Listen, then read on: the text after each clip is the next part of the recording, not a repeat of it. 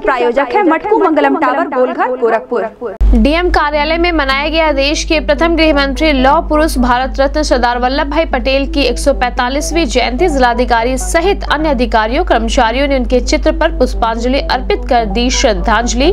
देश की एकता और अखंडता का लिया शपथ। गोरखपुर पहुँची कांग्रेस की प्रतिज्ञा यात्रा रैली। उमड़ी लाखों की भीड़। पार्टी की राष्ट्रीय महासचिव व प्रदेश प्रभारी प्रियंका गांधी वाड्रा ने का हाल चाल बा कहकर किया लोगों का अभिवादन। कहा, प्रदेश में सरकार बनने पर किए गए सभी प्रतिज्ञाएँ होंगी पूरी। दिया नारा, हम वचन निभाएँगे। लौह पुरुष सरदार वल्लभ भाई पटेल की जयंती को राष्ट्रीय एकता दिवस के रूप में मनाते हुए पुलिस कर्मियों ने किया याद।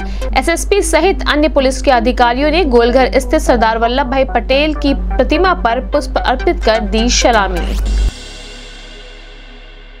रविवार को प्रेक्षागृह के सभागार में आयोजित हुआ बेसिक शिक्षा विभाग के संकुल शिक्षकों के लिए एक दिवसीय कार्यशाला। डीएम ने संकुल शिक्षकों को किया प्रोत्साहित, शिक्षकों को लीडर के तौर पर आगे आने के लिए किया आमंत्रित। कहा, सभी के सहयोग से जनपद अति शीघ्र बनेगा प्रेरक जनपद। भाजपाइयों ने मनाया देश के प्रथम गृह मंत्री लौह पुरुष सरदार वल्लभ भाई पटेल की जयंती। गोलघर स्थित उनके प्रतिमा पर किया माल्यार्पण। कहा, एक भारत श्रेष्ठ भारत, अखंड भारत के लिए स्मरणीय रहेंगे सरदार पटेल। हिंदू युवा वाहिनी के तत्वावधान में देश के पचहत्तरवें आज़ादी अमृत महोत्सव के तहत वरिष्ठ नागरिकों को किया गया सम्मानित। इंजीनियर पी के मल ने कहा, पचहत्तरवा बसंत देख चुके लोगों को पता है आज़ादी का महत्व।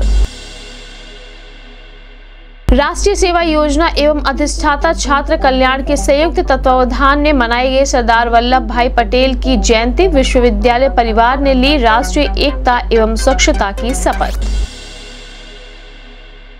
नगर निगम में मनाया गया लौह पुरुष भारत रत्न सरदार वल्लभ भाई पटेल की जयंती। नगर आयुक्त सहित अन्य अधिकारियों ने उनके चित्र पर पुष्प अर्पित कर दी श्रद्धांजलि। राष्ट्रीय एकता व अखंडता का लिया शपथ। सरदार पटेल के पद चिन्हों पर चलने का लिया संकल्प।